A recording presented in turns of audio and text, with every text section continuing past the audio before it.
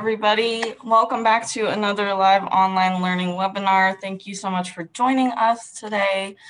Um, so today for you guys, we are going to be looking at Sibelius uh, and creating musical worksheets.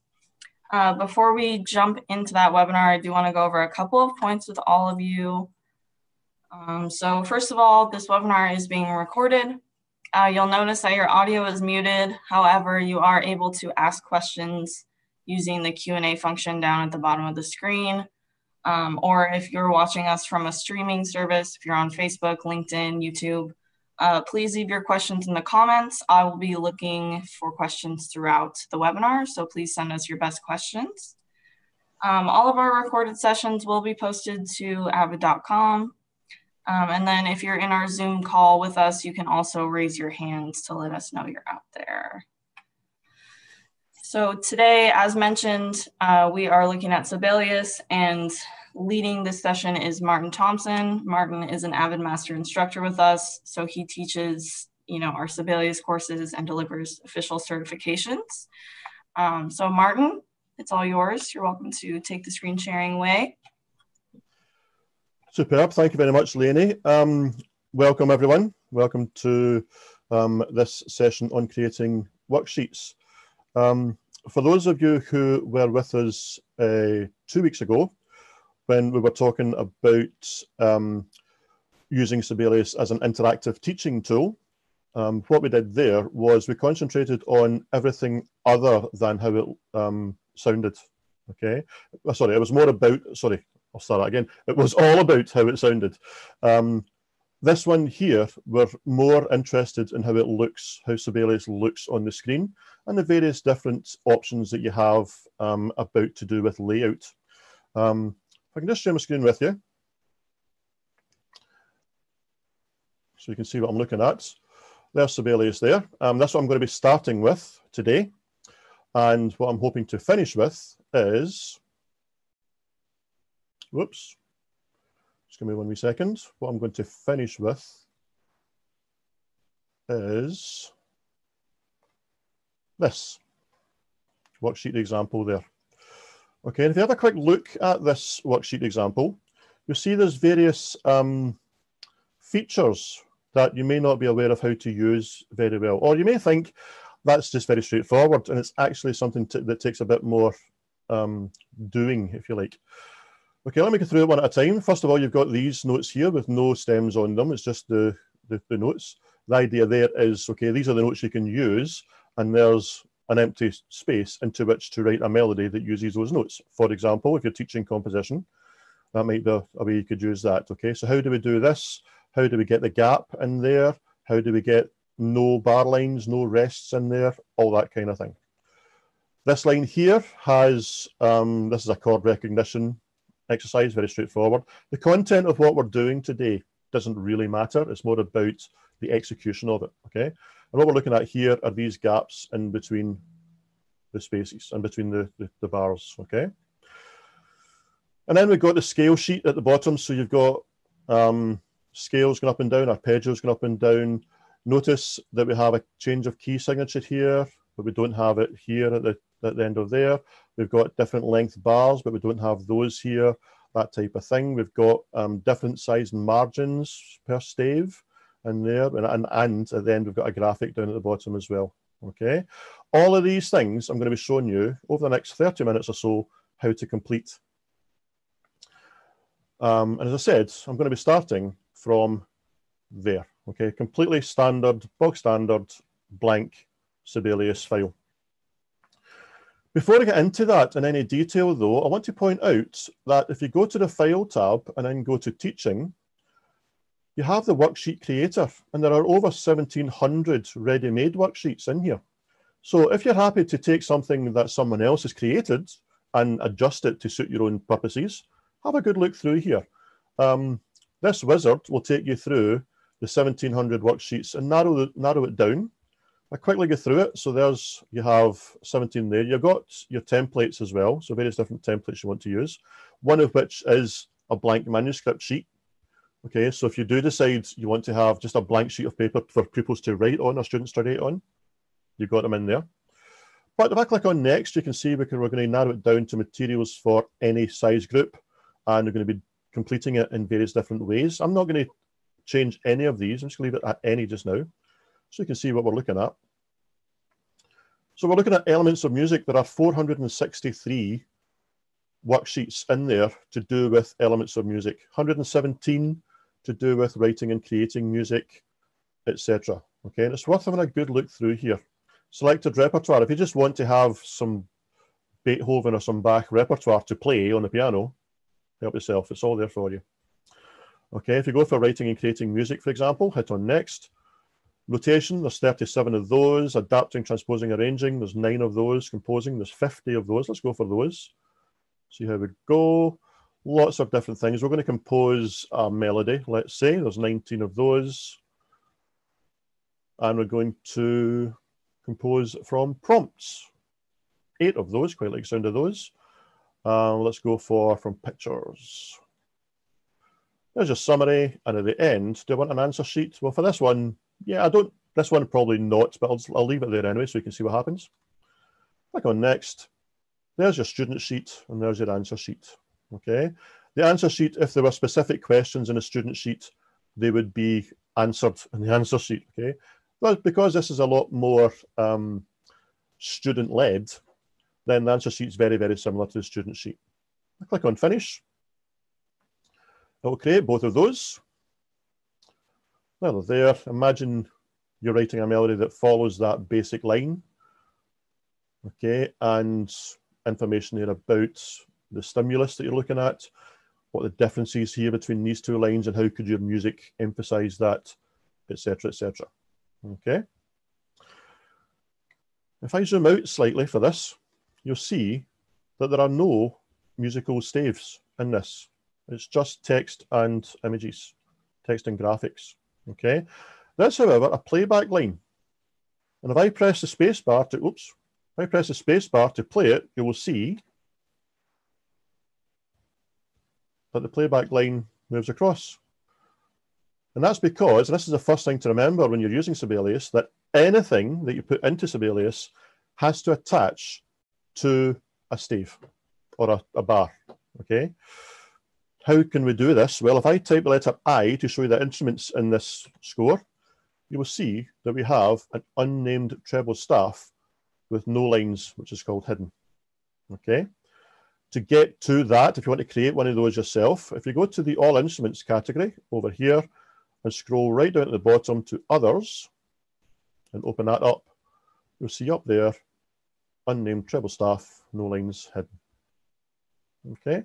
So if you want to create something that doesn't have any notation in it at all, like this, that's how you can do it. These, incidentally, are just graphics that have been imported as well. I'll take you through that process just shortly. So keep in mind that you have the worksheet creator, and there's a whole lot of things in there to have a look at before you decide to start and set about creating your own. However, if you do want to create your own, I'm going to take you through the techniques that you need, okay? And that's where we're going to start with. So the first thing I had on the um, template one was a bar with just note heads on it. No notes, no stems, just note heads, okay? And that was very straightforward to do. I'm not going to be spending any time today talking about the mechanics of inputting notes, okay? Um, two weeks from now, we're doing another Sibelius session where we'll focus completely on that. So you may want to have a, put that one in your diary as well. I'm sure Lenny can remind you of the, the timing at, at the end of the session for that. Okay. But I want to put some notes in here. So select the bar, N for note input. And I'm going to select quavers. And all I'm going to do is just put in a line of quavers like so. Okay, that's fairly straightforward. But what I can then do is select that bar, go to the notations tab, and you get an option here to change the notehead type. And if I change the notehead type here, one of the options in there, there are lots and lots of different options, incidentally, lots of them. But the one I'm going to change it to a stemless. Simple as that. And all that does is make these notes stemless. And they will play back, but obviously we're more interested in what it looks like on this on the screen. Okay, I'll show you towards the end how you can turn the playback line off, incidentally, as well. Okay, so that's fine, but now what I need to do is to make a space over here for the students to write their music in using a pen, okay? As with anything in Sibelius, there are lots of different ways to do most things, okay? For this first one, the way I would suggest you do it is make a selection, select from there to there, let's say, and hide everything that's in there, okay? What the other option may be is just to select this bar line here and put everything from there on a new line.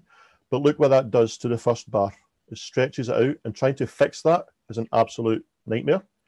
So undo that. Your better bet is to get this bar looking the way you like it and then adjust everything else around there. Okay. So that's why I would suggest selecting from there to there and hiding them. And I'll show you how to do that in a wee second. But Another option, and it's one that I use quite a lot when I'm creating worksheets, is how you make selections. You could click and shift click here to extend that selection, but a much, sometimes a much more efficient way is to what some people call rubber band it. So you're going to drag a selection box around it, the same as you would do in Word or in a graphics program. And to do that, you can't just click and drag because that will move the page around. So you hold down the shift key and then click and drag and that drags a selection box like so. Okay. Now, once you've made your selection, first thing I'm going to do is hide all the bar lines. So I would go to my notations tab again. There's a bar line option up here. Bring that down and I've got an invisible option. So I'm going to make those bar lines invisible, like so. You can still see them, but that's because on the View tab, Hidden Objects is turned on. I'm going to leave that turned on just now, just for clarity, but at the end, we'll turn them off. Okay, to make a gap before this, if you remember in the, the demo file, there was a space in here, okay? And to do that, I select, again, there's two ways you can do it. The way I tend to do it is select this bar after where I want the gap to appear, go to the Home tab, and open up the inspector. The inspector will give you the properties of whatever is selected. Okay, in this particular case, it's that bar. And everything to do with that bar, the properties are shown over here. The one I'm interested in is this down, down here, the gap before the bar. I'm going to turn that. I like to make that seven. I'll make it seven spaces. Now a space is a distance between two of the lines in the stave. That's one space. So I'm going to make this seven spaces. And I get a new clef and I get a space there, but that bar stays a similar shape to where it was. And now all I need to do is to select the rest of these rests to delete them. Again, I could select them individually and hit delete, or I could rubber band it, like so, and I could delete them, or I could go up to the Home tab and go to Hide or Show and just hide them. Actually has the same effect. Whenever you delete a rest, what you do is hide it. Okay, and that's the first line done. If I now go to view hidden objects, that's what we'll print, not the, the green playback line, but that there. The hidden objects option to see them, just so you can see how things are done and you can maybe adjust the, the layout to suit particular things. Okay. Now, one thing it's good practice to do as well is to select this final bar line here and tap the enter key. And what that will do is put what we call a system break in there. Okay, so it means that everything after there goes on to a new line. Okay, you can see what's happened here. A couple of these bar lines have become invisible, so that's my fault. So I'm just going to select from there to there Go back to bar lines, notations, bar lines, normal. So they turn back on. Okay. So that's fairly straightforward once you know about the option of hiding bar lines and so on. What I'm going to do next, though, is we're going to have a chord recognition um, exercise on this line here. So what I'm going to do, select the first bar here, I'm going to select a semi-breve I'm going to play a chord on my keyboard of D minor. Simple as that. The next chord is going to be whatever I like, to be honest, it doesn't really matter. Just play some chords like so. Okay. I want that to be the only contents of this line. So again, same as I did up here, select the bar line, hit the enter key, everything after there goes onto a new line. But I want these now to have gaps before them. Exact same as I did up there. Now I could do the exact same thing, select the bar, go to the home tab, go to the inspector and make it gap before bar. But the other way you can do it is to select the bar line where you want the gap to appear, go to the layout tab and put a split system in here. And what a split system will do is basically what putting a gap before the bar will do. It makes a gap in there and there's a symbol for a split system. And it's very easy to quickly go through these bars, doing that, like so. Now the thing is I want all of these to be on a single line now. So what I can do now is select them all. And again, on the layout tab, I can make into a system. And that will put them all on a single line, which we call a system, with an equal sized gap between them all. So the layout looks nice and normal. Don't worry about all these layout marks. Again, you can turn those off from the view tab and they don't print anyway. So don't worry about that. But they're there and I, you can see how that looks. Okay, it looks nice and neat and tidy. I want to put a line underneath here for the students to write the name of the chord in there. Now you may think, well, we'd do that as text, as lyrics, okay? And you could, if I do Control L, Command L for lyrics, and then do a line, uh, that doesn't work because it's moving on to the next notes to put lyrics in there. So I have to go back here. Maybe I can do an under uh, uh, an underscore. Ah, let's try that.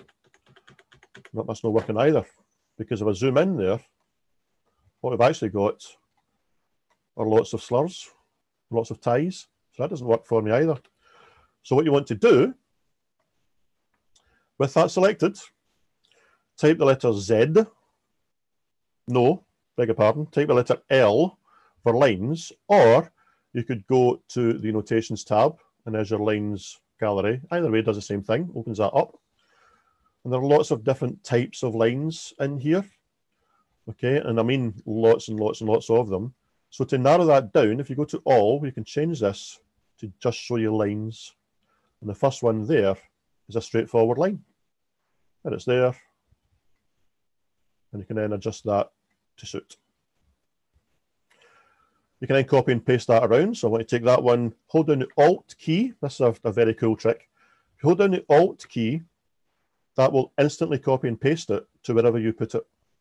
So I'm going to put that, oops, there select it, copy it, put it like so. Okay, it doesn't take very long at all to do that. Now, you may have problems trying to line these up with each other, but that's okay because, again, if you drag select them, like so, so only the lines are selected. If you go to the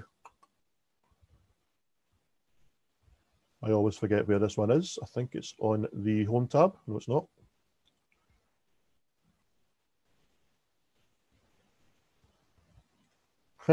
Where did I put this?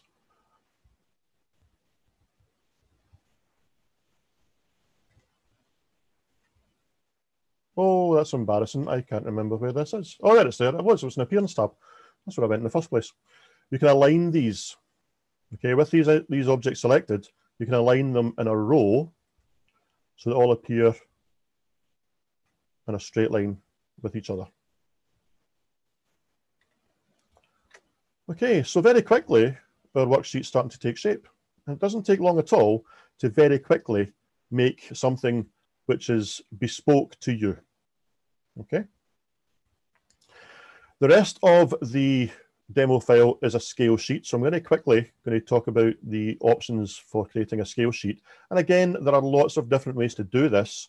The way I like to do it is to have all the notes as um, semi-breves, uh, four-beat notes.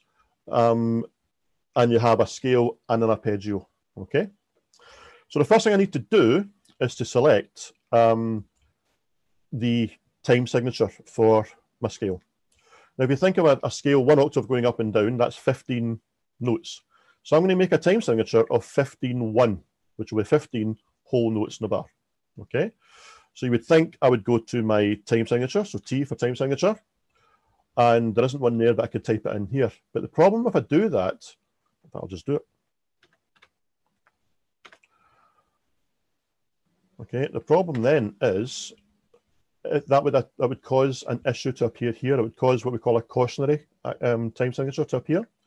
So the way to do it, the way to get around that is to go to your time signature again, but don't use any of these. Go to more options at the bottom. And that brings up what we call the legacy time signature dialog.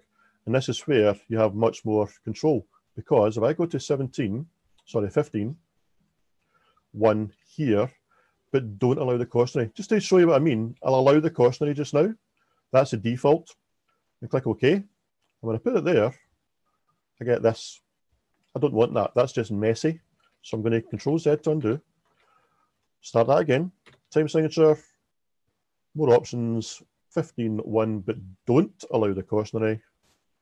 Put it there. Doesn't appear here. Perfect. So I want a new key signature as well. So I'm going to go for K for key signature. And the same issue would, would appear if I just put a key signature in here using this. So again, more options at the bottom. Brings up the legacy key signature dialog. I'm going to go for E flat major, but this time I'm going to make sure that I hide it. Now the default for here is for it not to be hidden. So I have to make a point of making sure that's ticked. Click OK. Tell it where I want it to appear. I don't see it, it's, it's shown in grey, so it won't print, that's fine. I can now put my notes in quite happily. Using my MIDI keyboard. Now the next bar is going to be an arpeggio, which has got seven notes in it. One, two, three, four, five, six, seven. So again, go to my key signature. No, go to my time signature, I beg your pardon. Always get those two mixed up. Change that to seven, one. Don't allow the cautionary. Put it there.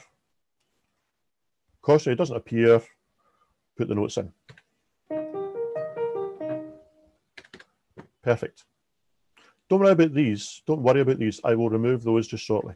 Okay. So that is going to be the end of this line. So I can now select that bar line, hit the enter key. When I say the enter key incident, I mean the enter key next to your letters on the QWERTY keyboard, not the one on the numeric keypad. They do different things in Sibelius, okay? So the one next to the letters, we'll take a new line, and I can then repeat the procedure now for the next key. So I'm going to start with a new key signature, K for key signature. This one is going to be F major. So I'll go to more options, F major, and hide it. Put it there, so it's hidden there, perfect. Key alarm time signature. More options, back to 15.1. Don't allow the cautionary. Perfect. And away I go.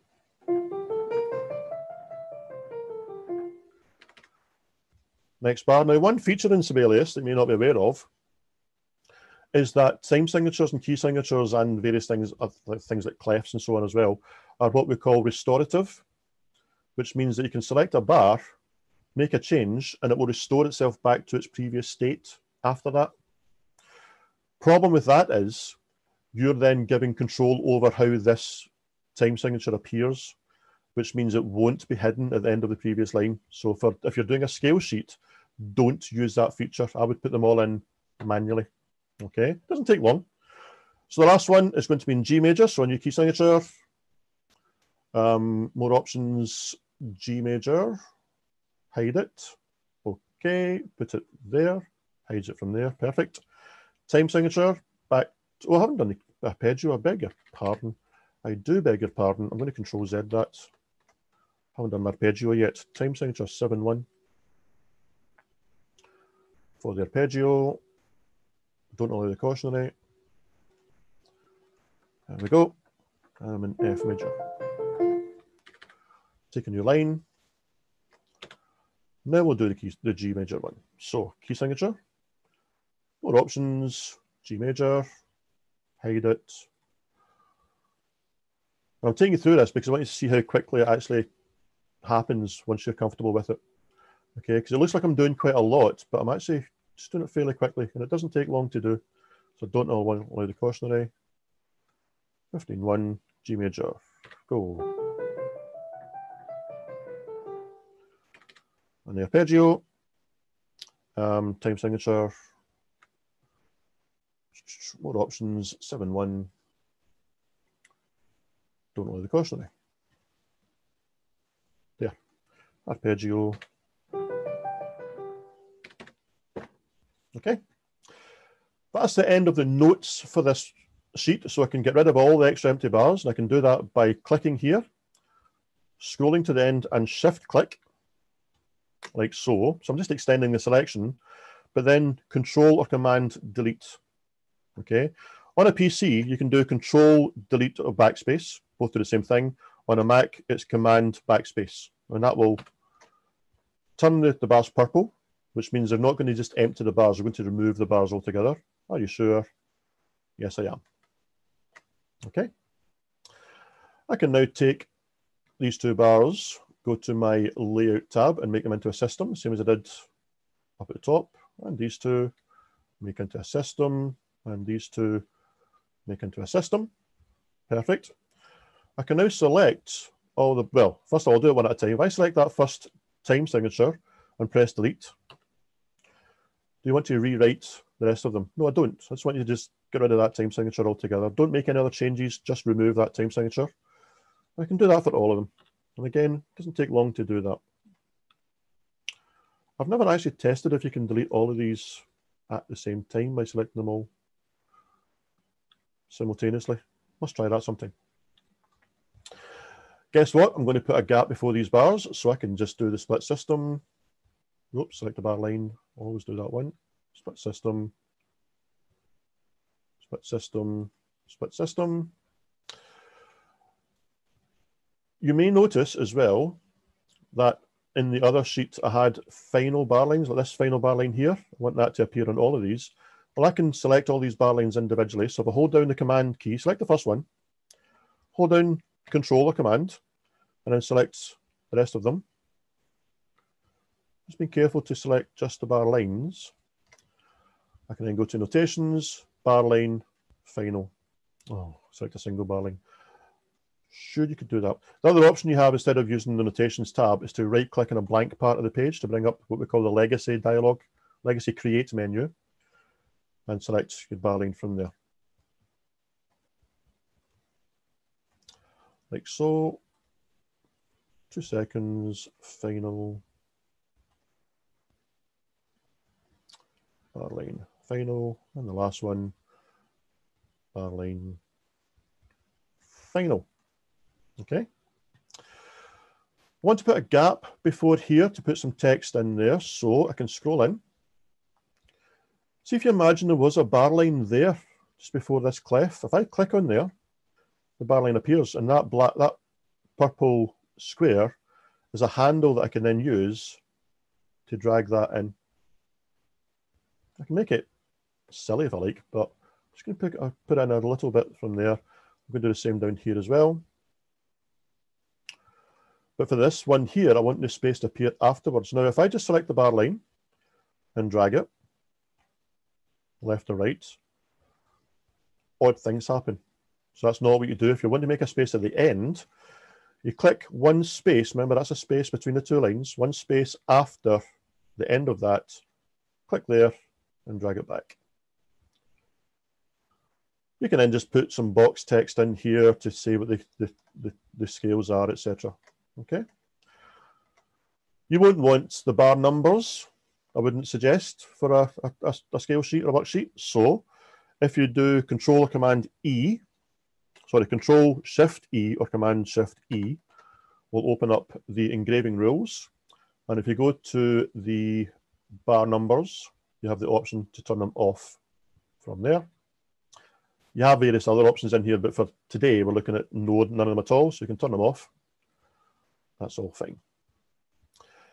The last thing that was on the, tech, the other sheet was a graphic down here. So to make a graphic, you go to your notations tab and you've got a graphics option over here. Click on the graphic It'll ask you what graphic you want to bring in, school crest, tell it where you want it to appear.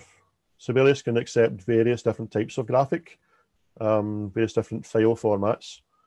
So it's worth keeping that in mind. Okay. And that's your scale sheet. Now, you can see I've still got all the layout marks and hidden things turned on. So I want to go up to the view objects, sorry, view tab and turn off hidden objects, layout marks, and I'm going to turn off the playback line as well. And that is how your sheet would print. Okay.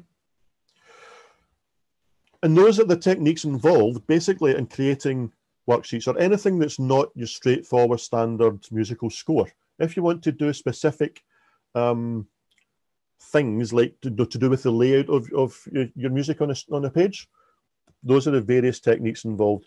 You can select a bar line and make it a final bar line at any point. You can make a gap in the middle of a bar, middle of a stave. Um, you can adjust the width of that gap using the properties.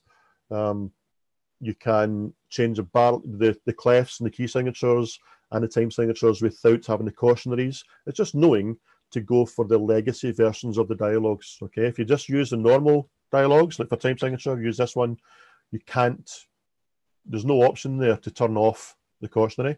You only get that if you go to the more options and you get that option there. Okay, see, I've started talking two minutes ago and suddenly half an hour's gone by. So there's quite a lot of information in there. I hope you, um, you gain something from that. So I hope it's something that you find useful. Um, certainly, I get a lot of people asking me, teachers come up to me and say, I want to create a simple scale sheet. Why is it so difficult? Because a simple scale sheet isn't actually that simple to do. Think of a, a blank manuscript page and compare it to a new Sibelius file You've got your clefs you need rid of, you've got your bar lines you need rid of, and you've got your rests you need rid of as well, while keeping all the staves and in the right place. So you've got to try and make sure you know how to make these things happen if you're going to have the option to create beautiful bespoke worksheets. Okay, so I hope that was useful. Um, I'm going to hand back to Lainey if there's any questions. We're going to have a couple of minutes if there's any Q&A at the end. I'm happy to answer anything I can. Lainey? Yes. Let's see. Um, great. So now would be the time if anybody has questions to submit some questions. Um, while we're while I'm giving everybody a couple seconds to submit any questions, um, Martin, um, I wanted to ask if the page background prints. Good question. No, it doesn't. Um, you may or may not be aware, if you go to the preferences, you might want to uh, take the screen, screen sharing back. Share again, that'd be a good idea. Yeah. Yes. I didn't realize you'd taken it from me there. There we go. Yeah, if you go to preferences, which is control or command comma, that will open up the preferences. Under um, textures, you can adjust the background paper color or graphic, basically. Um, the paper fine white white fate paper white fine laid is a default one. Um, you can just change it to just be a color and you can make that white. A lot of people change it to things like there's a coffee stained one, which a lot of people seem to like as well. Where is it? There it's there. This looks like that. That does not print. That's purely for the fun of it. I think somebody in Sibelius just had a a sense of humor one day and decided to have that as an option. But if you go to print anything, Control Command P, you do have the option down here to print in color. So if you want your school crest to appear in color, you can print that in color. But the page backgrounds, as you see from the, the thumbnail there, the page background does not print, just it becomes white. Awesome. Um, we have a question from Allison. Uh, she missed when you demonstrated how to take the beams out. Okay. Um, she's just asking if you could quickly go back over that. No problem at all. Um, if I just take this first bar here, what I would do normally, I just put in some normal notes. Oops, too many. Let's make that first one down there. Okay, so put them in as normal, then select them, go to your notations tab, And under note heads, one of the options in there is to have stemless note heads there. Okay, if you want to use a shortcut, Alt Shift 8 will do it, which should be what Command Option, no, Command Shift, no, Option Shift 8 on a Mac. And that just makes them stemless. Very straightforward, single click to do. One other thing about note heads that might be worth pointing out as well, if um, you had, let me very quickly turn back on hidden objects, I am aware of the time. Let's say, for example, in here, I made a lot of notes like B, for example, okay? I can turn those, using the same process, um, into slashes with or without the rhythm stems. But if I do it like so, they don't play back. See, they were all the letter B, the note B, so they appear in the middle of the stave, but they don't play back which is very handy if you're going to write using chord symbols, whatever, and you maybe want people to improvise over the top of it. You can use that type of thing as well. But the note heads are quite powerful, and it's worth having a wee play with them. But that's how you can use stemless stemless ones there. Awesome. Great. Well, I think that about covers it for now. Um, so I'm gonna steal screen sharing back from you one last time. I'm just gonna go over okay. our next our next sessions. Um, so we are we do have a session tomorrow, Thursday, and then next week we have three sessions as well. Um, so I'm just going to quickly go over those. Uh, so tomorrow we're looking at Maestro Designer. Uh, Thursday we're looking at Media Composer, and then next Tuesday we're looking at Pro Tools. So if any of these interest you, we'd love to have you stop by. Um, you can register on our website, or you can just join us via Facebook, YouTube, LinkedIn, one of those streaming platforms. Um, I just wanted to thank Martin. Thank you so much for joining us, for leading the session. Really no appreciate it.